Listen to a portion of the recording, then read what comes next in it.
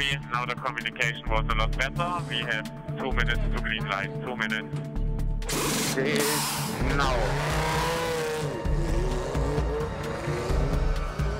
Hey, I'm coming down to the pit exit now.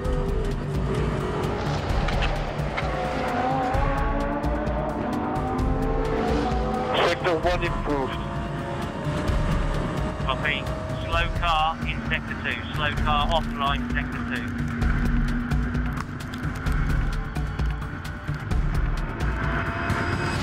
A lot of traffic. A lot of traffic.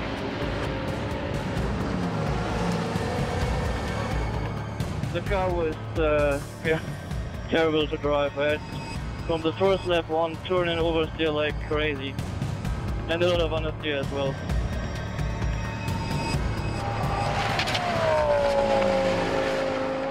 Good job, Nicky. Good job.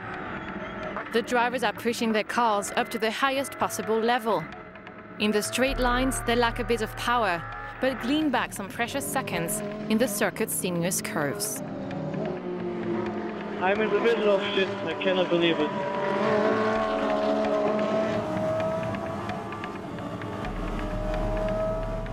By pushing their Audis up to the limit, the 12 drivers help to refine the car setup little by little.